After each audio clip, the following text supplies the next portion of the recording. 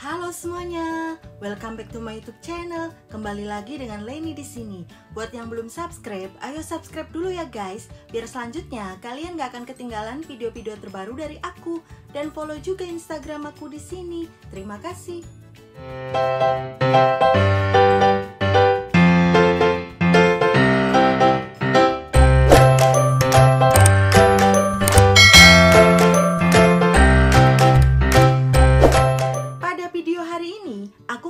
Mereview toner yang lagi rutin aku pakai selama dua mingguan ini, yaitu aku pakai toner dari Braley. Buat kalian yang belum tahu tentang skincare Braley, Braley ini brand skincare Asia dari Tiongkok yang aman banget dipakai sama kita karena menggunakan bahan-bahan alami. Dan diproses dengan teknologi inovatif untuk menciptakan produk yang berkualitas tinggi dengan berstandar internasional dan udah terdaftar di BPOM RI juga. Toner dari Braley ini ada tiga varian, tapi yang aku punya dan yang lagi rutin aku pakai kedua varian ini. Nanti aku jelasin satu-satu apa aja manfaat dari kedua toner Braley ini dan cocok dipakai untuk tipe kulit yang gimana. Oke guys, langsung aja ya ke reviewnya. Toner pertama yang mau aku bahas, Braley Acne Treatment Toner dengan ingredients tea tree water, witch hazel, salicylic acid, dan beberapa ekstrak tumbuhan lainnya. Toner ini secara efektif dapat menenangkan kulit, membantu membersihkan kotoran dan minyak yang tersumbat dalam pori-pori, mengurangi timbulnya jerawat, memperbaiki kulit yang rusak akibat jerawat, menyeimbangkan kadar minyak, dan mengurangi inflamasi. Acne Treatment Toner ini cocok dipakai untuk tipe kulit wajah yang berminyak dan berjerawat. Next toner kedua yang mau ku bahas, Brelly Rose Water Toner dengan ingredients Rose Rugosa Flower Extract, Hyaluronic Acid, Nicotinamide, Rose Petal, dan beberapa ekstrak tumbuhan lainnya. Toner ini secara efektif berfungsi dapat mengencangkan kulit wajah, leher, dan area mata, menenangkan kulit dan menghidrasi kulit, memudarkan flek hitam dan noda hitam bekas jerawat, mencerahkan kulit dan memperbaiki tekstur kulit, melembabkan kulit, meratakan warna kulit, dan sebagai anti-aging juga.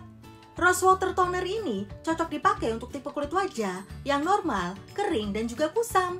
Untuk toner Braley yang ketiga, yaitu Braley Pomegranate Facial Toner yang fungsinya dapat memutihkan kulit dan menghidrasi kulit sampai ke kulit yang paling terdalam. Pomegranate Facial Toner cocok dipakai untuk semua jenis kulit. Jadi buat kalian yang pengen memutihkan kulit, kalian bisa pilih toner Braley-nya yang varian Pomegranate Facial Toner. Untuk yang pengen mengatasi kulit wajah yang berjerawat, berminyak, berpori-pori besar, kalian bisa pilih yang Acne Treatment Toner. Sedangkan untuk kalian yang pengen mencerahkan kulit, memudarkan flek hitam dan melembabkan kulit, bisa pilih yang Rose Water Toner. Dari segi teksturnya, untuk yang Acne Treatment Toner, teksturnya ini cair.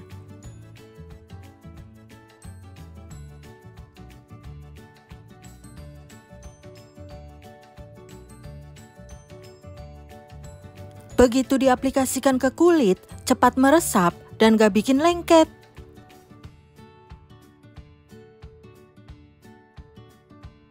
Sedangkan yang Rose Water Toner, isi produknya ini ada kelopak bunga mawar organik di dalamnya.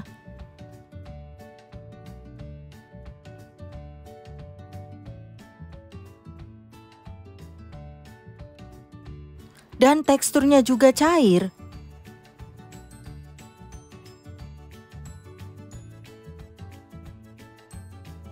Begitu diaplikasikan ke kulit, cepat meresap dan gak bikin kulit menjadi lengket.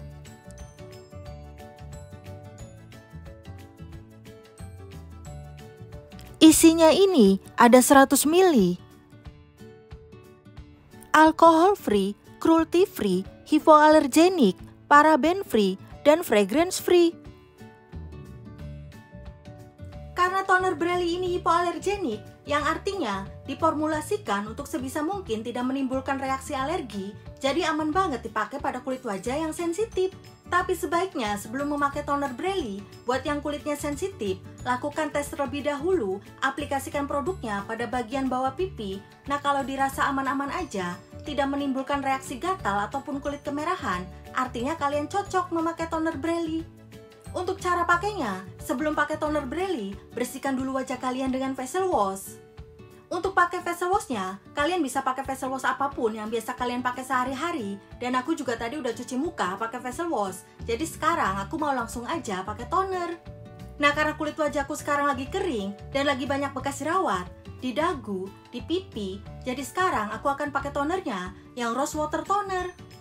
Untuk cara pakainya, tuangin produk secukupnya ke telapak tangan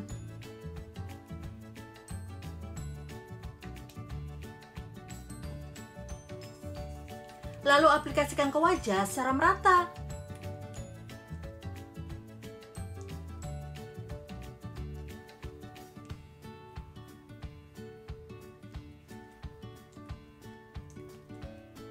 Karena teksturnya ini cair, jadi cepat meresap dan gak bikin lengket di kulit.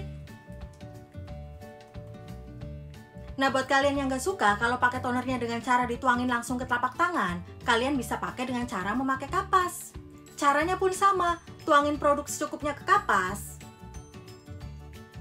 Lalu aplikasikan ke wajah secara merata.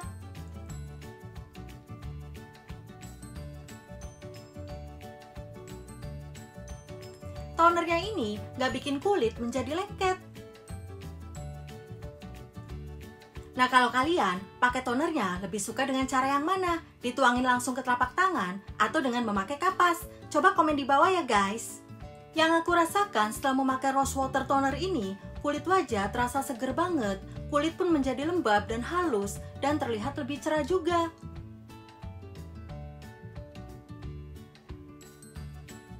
Untuk mendapatkan hasil yang maksimal, dipakainya harus secara rutin pagi dan malam, dan selesai memakai toner, kalian bisa lanjutin dengan memakai rangkaian skincare lainnya. Nah buat kalian yang mau membeli toner dari Brelly, link pembeliannya aku taruh di description box ya, kalian langsung klik aja. Oke guys, cukup sampai di sini dulu ya video review toner Braille dari aku. Semoga videoku ini bisa bermanfaat buat kalian semua. Thanks for watching. See you on the next video. Bye bye.